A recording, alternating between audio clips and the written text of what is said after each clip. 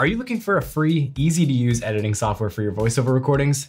Well, GarageBand may be your best bet. It's free, it's easy to use, and it comes pre-installed on all Apple computers. Sorry PC users, you're gonna have to find another way to join the fun. GarageBand's convenience and accessibility makes it a really popular choice among voice talent, especially for those on a budget. And one thing to keep in mind is that GarageBand is primarily designed for music producers and composition. So while it has all the tools that you need for voiceover, it's really geared more with a music focus. But don't let that discourage you. With a little can-do attitude, you can utilize GarageBand to create really really good quality voiceover recordings. It's just gonna take a little bit of extra work. But of course, there are some other great audio editing softwares out there that are much more advanced. But if you're just getting started out, and of course, if you're on a budget, GarageBand may be the right choice for you.